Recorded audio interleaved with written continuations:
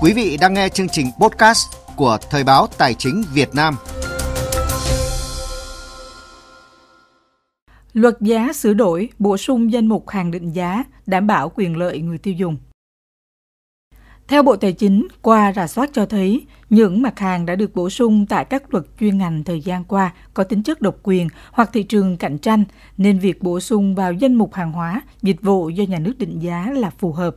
Để có sự điều tiết nhằm bảo vệ quyền lợi người tiêu dùng hoặc các mục tiêu an sinh, phát triển kinh tế xã hội.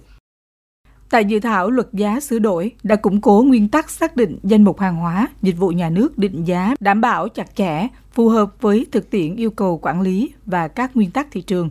Ngoài ra, dự luật giao thẩm quyền cho chính phủ quy định chi tiết danh mục, đẩy mạnh phân công, phân cấp nhiệm vụ định giá cho các bộ ngành địa phương, qua đó phân định rõ về nhiệm vụ trách nhiệm trong tổ chức thực hiện các nhiệm vụ gắn với chuyên môn chuyên ngành.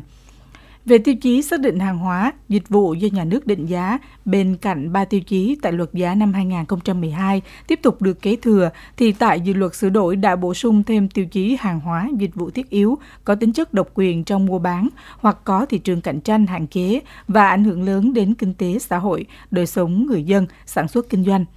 Nhằm đảm bảo phù hợp với thực tiễn hiện nay, một số mặt hàng đã được bổ sung tại các luật chuyên ngành và sẽ được cập nhật tại luật giá.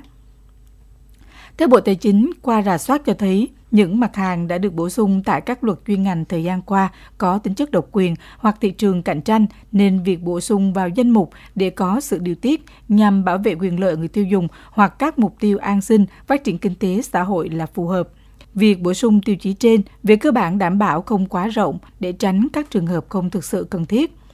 về danh mục hàng hóa, dịch vụ do nhà nước định giá, tại nội dung chính sách đã đề xuất giao thẩm quyền cho chính phủ quy định chi tiết danh mục trên cơ sở các nguyên tắc được quy định tại luật nhằm tăng cường sự linh hoạt trong thực tiễn triển khai. Bộ Tài chính cho biết vấn đề này cũng còn có nhiều ý kiến khác nhau ngay trong khâu xây dựng chính sách. Khi tiến hành soạn thảo luật, trên cơ sở đánh giá kỹ hơn cho thấy để có thể khắc phục được những tồn tại hạn chế trong thời gian vừa qua, thì giải pháp tối ưu là vẫn tiếp tục kế thừa để quy định chi tiết danh mục hàng hóa, dịch vụ do nhà nước định giá tại luật, gắn với đó là quy định rõ hình thức, thẩm quyền, trách nhiệm định giá của các cấp cơ quan quản lý, tương tự như danh mục tại luật phí, lệ phí. Quy định này, mặc dù thay đổi so với phương án chính sách đề xuất áp dụng, nhưng cũng đã được đánh giá tác động chi tiết. Trên cơ sở đó, chính phủ đề xuất luật quy định chi tiết danh mục hàng hóa, dịch vụ do nhà nước định giá kèm theo thẩm quyền, hình thức định giá cụ thể. Trường hợp phát sinh phải điều chỉnh danh mục hàng hóa, dịch vụ do nhà nước định giá, các bộ, cơ quan ngang bộ, Ủy ban Nhân dân cấp tỉnh lập đề nghị điều chỉnh gửi Bộ Tài chính tổng hợp trình chính phủ xem xét quyết định.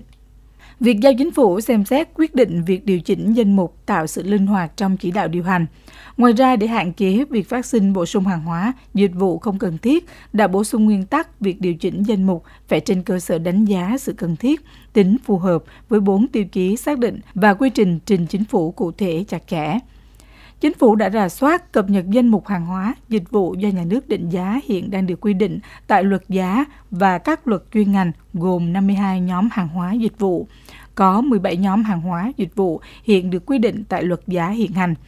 Có 35 nhóm hàng hóa dịch vụ hiện được quy định tại luật chuyên ngành, trong đó có 17 hàng hóa dịch vụ được chuyển từ phí sang định giá theo quy định tại luật phí lệ phí năm 2017 và tại Nghị định số 149-2016 NDCP. Qua rà soát, Bộ Tài chính đề xuất đưa ra khỏi danh mục 14 nhóm hàng hóa dịch vụ không phù hợp với 4 tiêu chí xác định hàng hóa dịch vụ do nhà nước định giá đã đề ra tại luật và thực hiện theo cơ chế giá thị trường. Theo chuyên gia kinh tế, Phó Giáo sư Tiến sĩ Ngô Trí Long, dự thảo luật đã bao quát được các nhóm hàng hóa dịch vụ do nhà nước định giá. Việc quy định các hàng hóa dịch vụ do nhà nước định giá là rất cần thiết nhằm bình ổn giá đối với một số loại hàng hóa thiết yếu có ảnh hưởng tới đời sống người dân. Quý vị vừa lắng nghe bài viết Luật giá sửa đổi, bổ sung danh mục hàng định giá, đảm bảo quyền lợi người tiêu dùng của tác giả Minh Anh qua giọng đọc An Nhiên.